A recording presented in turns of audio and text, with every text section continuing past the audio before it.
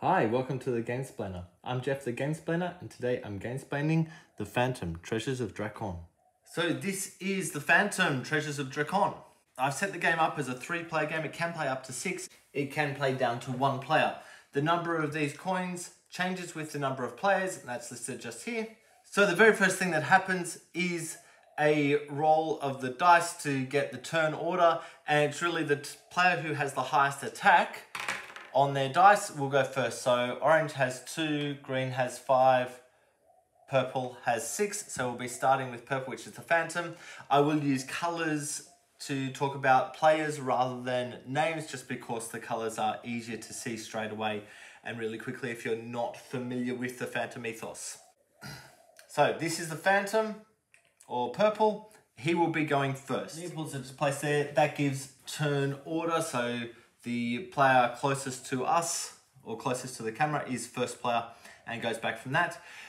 At the end of the first round, whoever is the furthest back on this track, which is the points track, is going to become the first player. So if at the end of the first round it looks like that, orange would become first player, purple and green would hold their positions. So I'd go orange, purple, green. Obviously, if it's like that, it'd be orange, purple, green, or if it's like that, orange, green, purple. As a general rule, whenever you bring points in off the board, so these little tokens are worth one point each. These are worth points. Uh, the highest points out of one of them is four points, and then three and two. Uh, they are on the back of the token.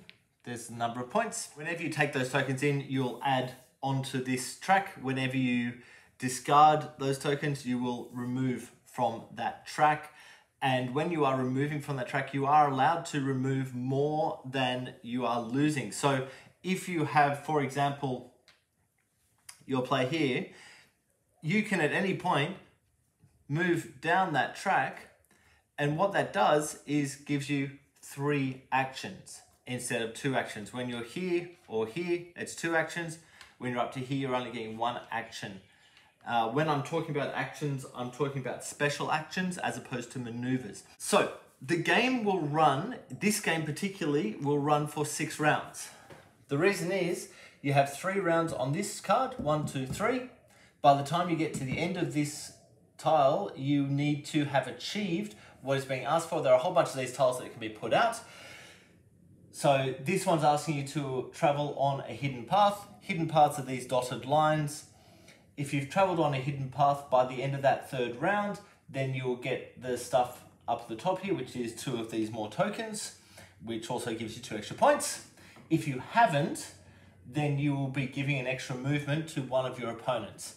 So you go for the blue thing. And then you go on to the next three turns and you need to achieve what has been said by that. So that's a dice battle. You need to have a dice battle. You need to be successful in that dice battle to win that, and you'll get an extra movement. Uh, if you lose that, then you'll take those two negatives, uh, which is negative on life and negative cards as well.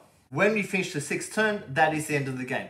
You could have more than two of those tiles out if you wish. You could have three, four. It doesn't really matter. It's up to you. In the rules, there is a suggestion for the number of tiles that is appropriate for each style of gameplay. This game does also play as a team game as well as the player versus player. Uh, I'm just going to do the player versus player rules.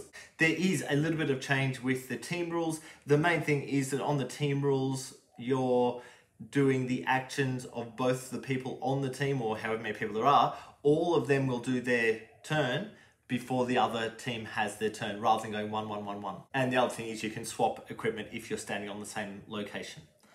So let's get into the game without any further ado. You have five cards in your hand. Some of the cards have this symbol, some of the cards have this symbol. Anyone can play one of these cards, which are the attack cards, during an opponent's turn. You can, however, only play one of each named card. So he would only be able to play this card, he wouldn't be able to play that card and that card during an opponent's turn.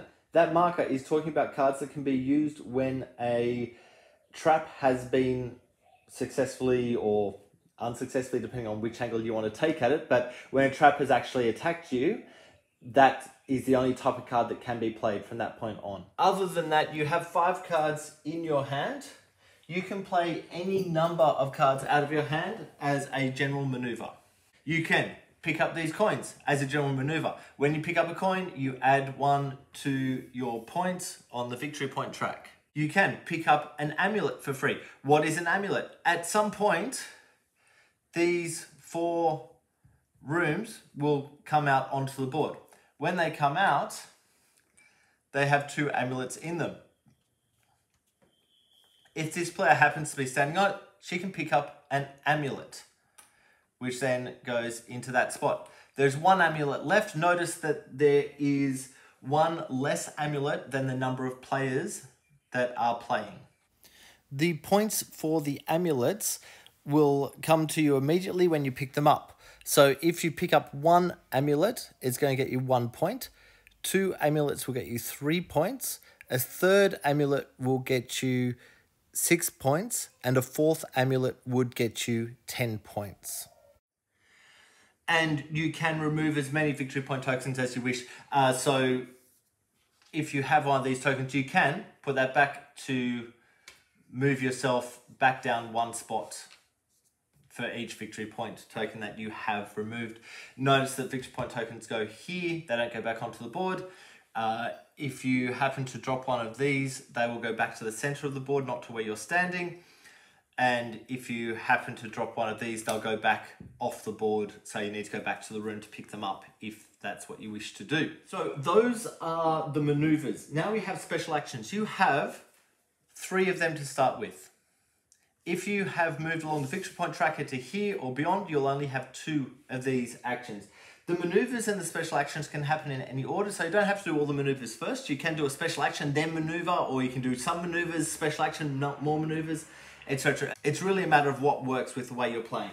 Each of these special actions can only be taken once. The only one of these special actions that isn't a one-off is the move action. So if you wish to move from one node to another, that costs one special action. Because I've moved onto an orange node, I would need to straight away roll the dice. So I roll the room die and that tells me what I'm being attacked by. So if you look up here, that's the wild dog. The effect is that I have to retreat and I take a hit. Retreating looks like moving back one node towards your starting location. But notice you don't need to resolve any node that you've moved on to. So I should be doing another roll whenever I've gone into that. I don't need to. But what I can do, so that's what would happen if I don't manage to defend against it. So I would now roll my die, look at the defense value, which is a defense of three, because that was an orange node, I would need a defense of four. So what I can do is play this card, which allows me to re-roll a die. So I can re-roll my die, which gives a defense of four, d4, which is pass. So I actually don't move down that, move back a node and take the defense, but that is now a spent card. The size of this die will do something slightly different to each other. If you were to roll the giant cobra head. You would add one of these markers to your board, and what that means is you're going to take a hit at the end of your turn from now on. If you roll that, that's the tripwire crossbow. That gives you two hits. There's also the tiger, which takes a hit, but you also need to then discard three of your cards. And discarding those three cards is actually giving them to your opponents as evenly as possible. So if he was to have to discard three cards, he would choose which three. So you have that choice and give two to one of the players and one to another player. Obviously, if you don't have three cards when you get hit by the tiger, then you don't give out cards because you don't have any to give. The curse, you would get one of these markers, which means that you can only hold four cards in your hand, not five at the end of your turn. So you can obviously go above that with if you're given cards by other players, etc. But at the end of your turn, you need to discard down to the four or just pick up four rather than picking up five. The further towards the center of the island you go, the harder it is to beat those traps. So once you start on the yellow nodes, you only need a three plus on the defense to get past them. The orange nodes is a 4 plus, the red nodes is a 5 plus. When you go into the center, nothing happens. When, however, you pick up one of the masks, which will give you four points, that's when you need to roll for that mega effect. So the mega effect that he's getting hit with is a curse, and we look at this line, and it's basically adding more punishment, I guess, to the thing that's happened. So you take a two rather than a one, or minus two rather than minus one. You would take four hits of damage rather than two. You take one hit of damage and a minus one on your ability to do stuff. So where he is, he would only do two actions rather than three actions on his turns. And also retreat that one. If on Wild Dogs, he would distribute his whole hand rather than just three cards. And he would also distribute one of his victory point tokens. Now, if he only has that one victory point token, he must give that to another player, which means that he is losing four points here and the other player is gaining four points. Or he loses a health and takes a minus two card, so he would only be able to have three cards in his hand from that point onwards. Now you'll notice I haven't talked about the sixth side of the die. That's actually a positive side. If you're in the center, then you actually would have to re-roll that trap. You cannot get that positive from being the center. If you're on one of the other spots, then you're gaining a coin and gaining a point. It's actually a benefit. So one in six that you'll get a benefit rather than a negative. Remembering, of course, that he has the ability to try to defend against. He's only got a D3, rather than anything else, he would need to have a defense of six or more to be able to actually defend against that. You'll notice that this player's health points has got down to zero. When his health points get down to zero, he faints. What does that look like? I'm glad you asked. A couple of things happen here. Firstly, he discards a minimum of two victory point tokens. So once again, if he only has this token and this token, he's got to lose both of them. So you really want to make sure you've got a few of these on your boards. So if that happens, you, you're able to get rid of them. He removes any condition markers. So these are all condition markers. They come off. He restores his health to the maximum level. He discards his current hand. So that's all these cards go into the discard pile. And then he picks up two cards. If he has some time left on his actions, he can continue doing his actions at that point, and then we'll pick up to the five cards at the end of the turn. There's only a couple of things that I haven't touched on. The first one is the towers, which are just here. Each of the towers has a number, one through six. When you move onto one of those towers, you're having a look for the number, so that's number five he's just moved on to. So when you step onto tower five, you would be able to move to another tower and action that. So he might go form straight over there. He's moved on to tower three, pick up that token. He's moved to tower three, which is draw three cards. So he draws three more cards. And what you're doing on each of the towers is just here. Notice tower four is move to your base. So you'd move to the base and discover a sacred room. So you would then put the sacred room on there he would then pick that up and get the three victory points. If that happened to be his second action or he's used two actions, he can't use any more actions because he's just gone past this line. So as soon as you pass that, you cannot move more. If obviously he's used his third action and to do that last thing and get across the line, then that's not a problem at all. Within those special actions, the only one that allows you to use other towers or to move towers is Tower 5. The rest of them you just do what is on the board. So within the special actions, move is one of them. You can do that up to however many times you've got actions available. Activate a tower, that's a special action. So that's what we were just talking about with these towers. Take an idol, which we've just done as well. You can replace your hand, which is discard however many cards you have in your hand. So if he had three cards left in his hand, he could discard all three of them and replace them with three new cards or five, whatever his number of cards in his hand is, he's got to replace all of them to do that action.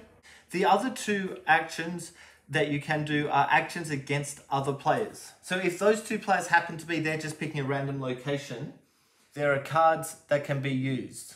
So up to two nodes away, up to two nodes away. That's up to two nodes away. For the actual action, so you don't need cards for this one, you would need to both be on the same node and you can ambush. The way this works is each player would roll their dice. Let's say that the orange player is attacking purple. So we've got an attack of two against a defense of six, which means that the attacker has not won, but the winner of that attack will gain one coin from the loser, which also means moving the points tracker. The loser would also incur one damage. If the players were to do a heist, the winner would get to steal one token. So in this case, this one's tried to do the heist, but purple has won, so purple might steal that one, which would give him four points. One, two, three, four, and we pull that back to three, four points. But the winner also incurs two points of damage. And that's referred to as a dice battle. So you're basically rolling the dice against each other. One of you is the attacker, one of you is the defender. Just look at the numbers. If the numbers happen to be the same, the attacker wins on a tie. The other thing you'll notice is each player has one of these cards. This is a one-off use. It is a maneuver, so it doesn't cost you anything to use it. But whatever the writing on the bottom is, you get to do that as a one-off action. Once you've used that, just flick the card over to show that it's been used. Once you get to the end of the third action, we turn these around. I've already explained that. And then we go through the next one and we get to the end of the game. Whoever has the most victory points is the winner. Just quickly to finish up with the co-op actions allow everyone who's on the same team to move at the same time.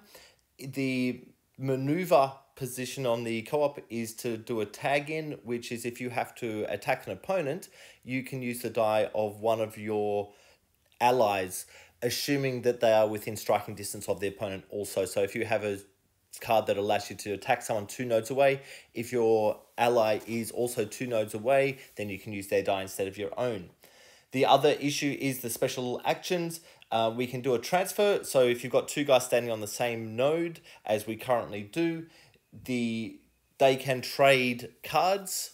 Uh, you can only do that with one opponent. So if you've got all three people from the same team standing on the same node, you can only do that with yourself and one other player on that space rather than both the players. You can switch, which allows two allies to swap locations if they're one node away from each other, and that won't set off any traps if you use it. And the other one is hurdle, which allows you to uh, jump over someone who's on your own team who is one node away, but that will set off any traps that are on the landing position. I think that is everything for Phantom Treasures of Drakon.